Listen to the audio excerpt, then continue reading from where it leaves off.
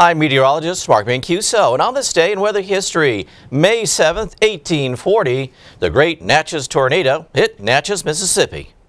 The Fujita scale rating of this tornado is almost certainly an F5, but since there was no scale at the time, this tornado remains uncategorized. The tornado formed southwest of Natchez and moved northeast along the Mississippi River. The vortex then struck the river port of Natchez Landing. The mile-wide tornado tossed 60 flatboats into the river drowning their crews and passengers. A piece of steamboat window was reportedly found 30 miles from the river. Many conducting business on shore were killed.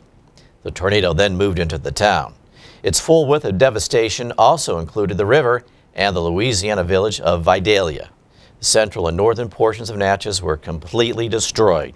The final death toll was 48 on land and 269 on the river, mostly from the sinking of flatboats. It's the second deadliest single tornado on record in the United States, killing 317 people. It is also the only recorded massive tornado in the U.S. that killed more people than it injured. I'm Mark Mancuso.